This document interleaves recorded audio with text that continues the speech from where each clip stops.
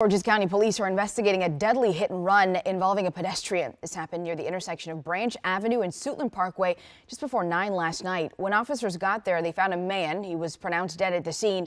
Investigators are working to locate the driver of the car and determine what led up to that collision.